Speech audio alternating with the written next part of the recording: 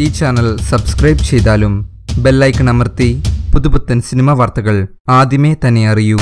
Villain മറനീക്കി അവതരിക്കുമ്പോൾ വില്ലനെയല്ല യഥാർത്ഥ നായകനെ തന്നെയാണ് മലയാള സിനിമ വരവേൽക്കുന്നത്. ബി ഉണ്ണികൃഷ്ണൻ മോഹൻലാൽ കൂട്ടുകെട്ടിൽ നിന്നുള്ള നാലാം ചിത്രം ഉയർത്തുന്ന ഈ ആവേശത്തിന്റെ തെളിവാണ് സ്പെഷ്യൽ ഷോകളുടെയും അഡ്വാൻസ് ബുക്കിങ്ങിന്റെയും കാര്യത്തിൽ പ്രകടമാകുന്നത്.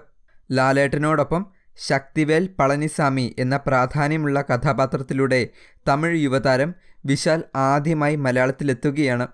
ഈ റോളിലേക്ക് സംവിധായകൻ ആദ്യം പരിഗണിച്ചത് പൃഥ്വിരാജിനെയായിരുന്നു.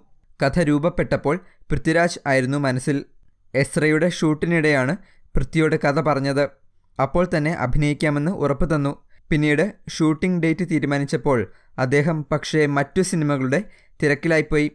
ചിത്രീകരണത്തിനായി വിദേശത്തായിരുന്ന പൃഥ്വി ലാൽ സാറിന്റെ സിനിമ താൻ കാരണം വൈകരുതെന്നാണ് പറഞ്ഞത്.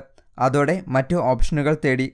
കേരളത്തിൽ ജനിച്ചു വളർന്ന തമിഴ് കഥാപാത്രമാണ് വിശാലിന്റെ കാര്യം സൂചിപ്പിച്ചപ്പോൾ മോഹൻലാലും സമ്മതിച്ചു. ഇരുവരും വ്യക്തിപരമായും അടുപ്പമുള്ളവരാണ്.